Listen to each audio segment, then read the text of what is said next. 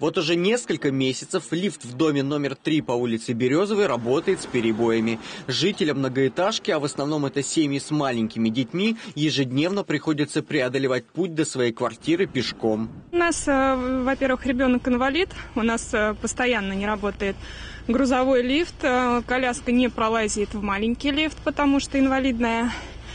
А, постоянно жалуемся, очень часто Бывает, что сидим дома, не выходим гулять, потому что не можем спуститься. Но бывает и так, что оба лифта не работают вовсе. Пожилые люди и инвалиды вынуждены в такой ситуации сидеть дома. Четыре дня не работал маленький лифт, перевозящий пассажиров, а в воскресенье, возвращаясь с работы, э, не могли мы подняться. Здесь огромная очередь, стоят дети с коляской, маленькие груднички. Люди не могут протащить эти коляски, конечно, никак, потому что здесь вблизи даже только нужно обойти дом, чтобы попасть на лестницу.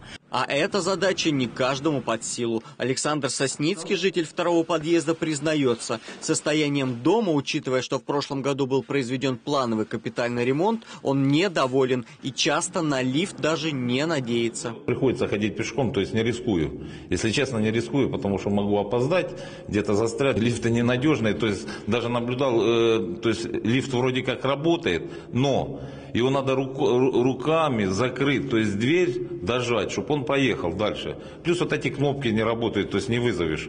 Приходится ждать по 20-30 по минут лифт.